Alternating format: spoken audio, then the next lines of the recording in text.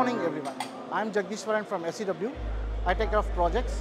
Uh, here we are showing to display the shuttle system with uh, which is used specifically to automate the warehouses where the pallets can be automated and can run in the different aisles.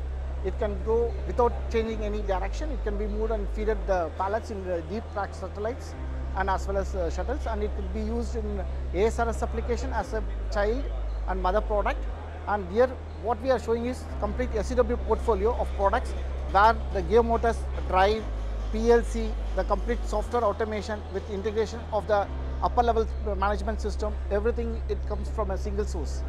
And this product is specifically used where there is a requirement of high density storage and where the shuttle runs in different aisles in a different perspective and it can be easily replaced uh, the current ASRS.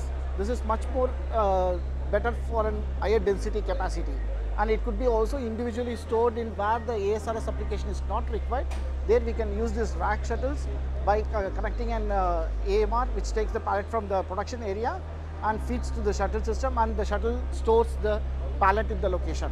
This is the purpose of using this shuttle system and this can be used in lo- intralogistics, distribution logistics and as well as production logistics. And the benefit of this system is it comes with a contactless energy transfer system with super caps where the 25 kilohertz frequency is uh, emitted through the air and it is induced by the pickup and it is stored in the super capacitors and which enables the system to run at high speed.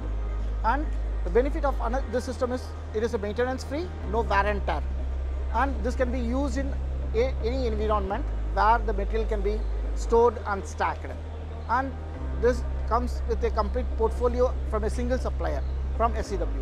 This is what our innovative solution from SEW.